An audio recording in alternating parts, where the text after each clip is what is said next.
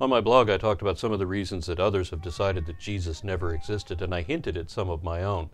I say hinted because it seems I was too subtle.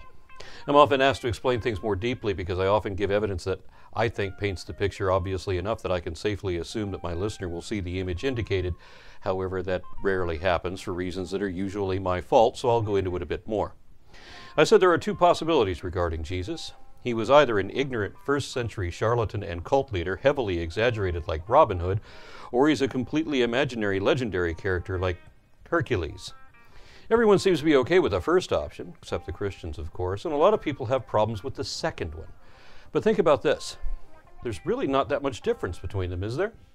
Already we've established that by either option, there can't have been a real Jesus. One of my oldest friends still calls himself a Christian, even though he doesn't believe a word of the Bible. He told me he's Christian because he likes to believe that, not because he thinks it's true. I don't think he realizes what that admission means to me. He says that Jesus was just some schmuck who had a lot of legends lumped onto him. And when I suggested that there might not have been any one actual Jesus at all, he got angry. He said he wanted there to be some schmuck, by which he meant he wanted there to be some truth at the root of the tale. We all do. For whatever reason, I used to look at all the old myths, wondering what really happened. But it's not as simple as that. Sometimes none of it is true at all, and sometimes it's a blend of distortions and exaggerations compiled from multiple original events that aren't related. And then what have you got? If there were three to five actual people at the root of the story and none of them would even recognize themselves within that story, then what? Looking at the contested option first, let's imagine that we've constructed a time scanning app that allows us to watch history unfold on our screens and pan around or explore where we want to. Now let's go look for King Arthur. How could the Arthurian legends have emerged unless there was a King Arthur at the root of it, right? Except that what you get there is a collection of fanciful legends of impossible nonsense, and when you strip all that out, you don't have any indication of one particular guy. Historians can't point him out either in time or in space. And some of the multiple potential Arthurs aren't even in England. And I don't think any of them were named Arthur. If there was one, he wasn't an actual king. So if there ever was an Arthur who was something else living somewhere else, would that mean there was an Excalibur, a Lancelot, a Camelot? Or did each of those other elements come from somewhere else and someone else? What happened with King Arthur is what I think happened to Jesus. If you found a guy named Jesus who had a brother named James who also met Paul, assuming that Paul is talking about a real person, then maybe that guy was either Jesus of Damneus, someone who we think is different than the guy we're looking for, or that guy was not even aware of the mountain of nonsense that has been heaped upon his name. He wouldn't even recognize himself as the Jesus we're looking for because some of those stories had nothing to do with him. Maybe what happened with Jesus is more like what happened with Brian. The problem that a lot of people have with this is that they think that we only need to match a few details from a handful of different versions of what is essentially one story and that everyone has always agreed on what that story is, but I don't think that at all. Not even part of it. We can't expect that any collection of details in the Gospels are true and that they're the actual story at all, or that they all originated only from the things that one guy actually did or said. Look how the rumor mill turned Darwin into a racist and Hitler into an evolutionist. That happened almost immediately. The Gospels were written decades later with an obvious agenda intent on depicting Jesus as the new David, the new Moses, a king, a Messiah, or a God. My suspicion is, is if you found someone whom you think might be the Jesus you're looking for, then other time travelers or archaeologists or historians would likely say that it was someone else or that parts of this legend pertain to someone else. And if you let that guy see any version of Christianity, even a century later, he wouldn't recognize it and wouldn't even think the story was about him. Let's choose an easier one. Let's look for Noah. That name doesn't show up until the priestly writers exiled in Babylon around 500 BCE. And prior to that, the Noah character was known as Ziusudra, Atrahasis, Utnapishtim, and possibly Urartutu, all of whom have slightly different backgrounds attached since they all hail from different Mesopotamian regions. However, we know that the story is a gross exaggeration of a localized inundation of the Iraqi floodplain centered on the city of Shuruppak around 2900 BCE. So many of the details between these different accounts are consistent that we know they're all talking about the same event, and that event has been confirmed by archaeologists and geologists. So we found Noah, right? Except that he's a handful of different people, none of whom match the 600 year old codger in the Bible. These stories match each other more closely than they do the biblical version because they were all written a thousand years earlier, closer to the actual event. Importantly, the additional stories, like where Noah curses his own kids afterwards and sends them off to populate different parts of the world, that did not come from these earlier legends. That came from somewhere else, meaning that it pertains to someone else, and some of these other characters or events may be completely imaginary.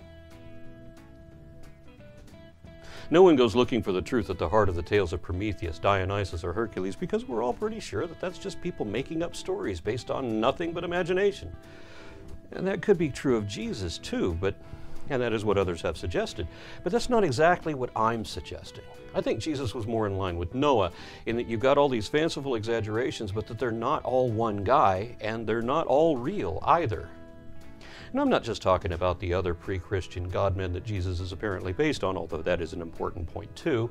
I'm talking about the most that I think we could expect of a historical Jesus. And I don't think that that would either qualify as historical or Jesus. In the very early years of Christianity, you already have factions arguing over whether Jesus was a real person.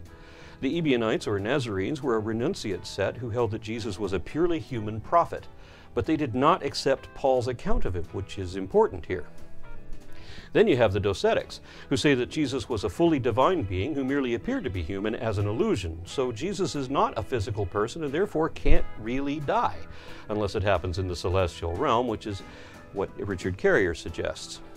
Then you have the Gnostics, who are even older than Christianity, and they cast Jesus as an emissary between man and God. However, they did not believe that Jesus died for our sins, and that's a significant difference too. Then you've got the Coptic version, which again is early enough that it could be contemporary with the Gospel of John. Their account includes the Gospel of Thomas, in which Jesus said that if God wanted men to be circumcised, then men wouldn't be born with foreskins.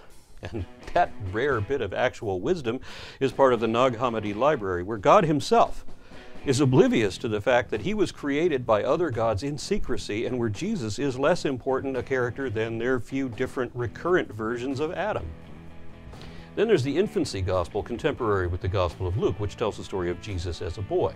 In that, young Jesus is more like Damien from The Omen because he kills other children with incantations and brings clay figures to life with a golem spell. Remember, this gospel was supposed to have preceded the Gospel of John. And what does that mean about the credibility of the Gospel of John? And look at all the disparity already. We've got 16 non canonical Gospels emerging in the early days of Christianity, all of which purporting to tell the story of Jesus. Yet they're all different stories, and the early church banned them all as completely heretical. The only Gospels which are canonized are the last one, which shouldn't be for obvious reasons, and the ones largely based on the first one. Even that first one was written decades after Jesus allegedly died, and it's missing important elements of his life, like the virgin birth. That was anonymously added later. The Gospel of Mark is 92% identical to Matthew, except that it corrects some of the errors that shouldn't have been in Matthew. And one that did not get corrected was chapter 1, verse 23.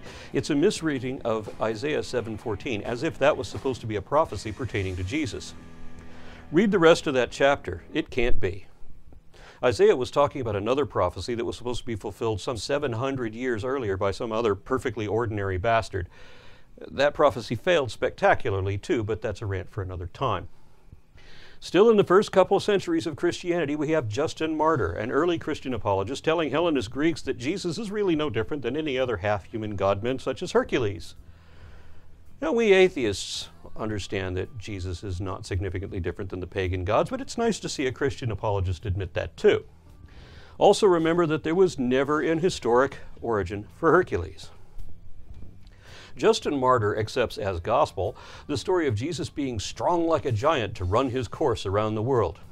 Where the hell is that story? What was he reading back then? Where did any of these fanciful tales come from?